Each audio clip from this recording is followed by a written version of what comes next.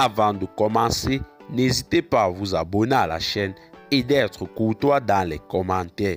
Une manifestation anti-France au Burkina Faso dispersée après l'utilisation de gaz lacrymogène. En effet, les forces de l'ordre burkinabé ont dispersé à Ouagadougou une manifestation de plusieurs centaines de personnes protestant contre la présence de la France dans ce pays sahélien miné depuis plusieurs années par des violences djihadistes.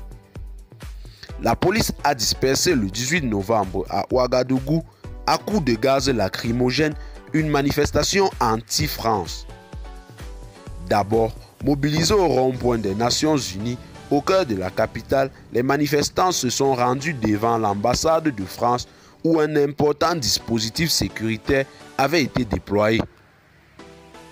Certains d'entre eux brandissaient des drapeaux de la Russie, pays avec lequel ils ont dit vouloir que leurs dirigeants intensifient les relations. Je cite, Après une première lettre demandant le départ de la France, nous avons à nouveau remis une deuxième lettre aujourd'hui.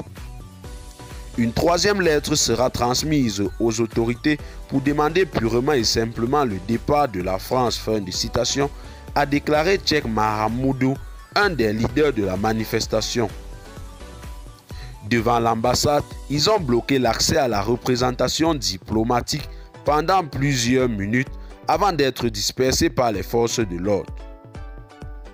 Une partie d'entre eux s'est ensuite dirigée à moto vers la base de Camboissin pour continuer la manifestation.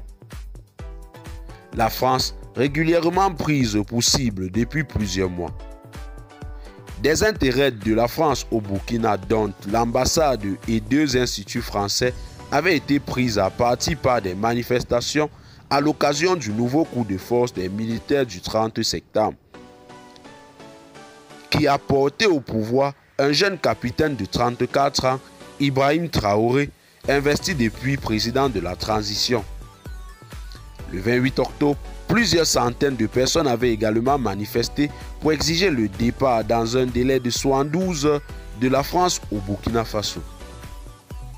La France est présente militairement au Burkina Faso avec la force Sabre, un contingent de forces spéciales basé en Cambouassin, en périphérie de la capitale. Dans plusieurs pays d'Afrique francophone, Moscou jouit d'un soutien populaire grandissant quand la France, ex-puissance coloniale, y est de plus en plus vilipendée, en particulier au Mali, pays voisin du Burkina, également dirigé par des militaires depuis 2020. Au Burkina, les militaires au pouvoir n'ont pas fermé la porte à un rapprochement avec la Russie, mais n'a pas montré d'hostilité à la France qui continue d'appuyer l'armée burkinabé dans sa lutte anti-djihadiste. Les attaques régulières de groupes armés affiliés à Al-Qaïda et au groupe Daesh ont fait des milliers de morts et provoqué le déplacement de quelques 2 millions de personnes depuis 2015. Eh bien, chers téléspectateurs, c'est tout pour cette note d'information. Laissez-nous en commentaire vos impressions et à très bientôt pour une nouvelle note d'information.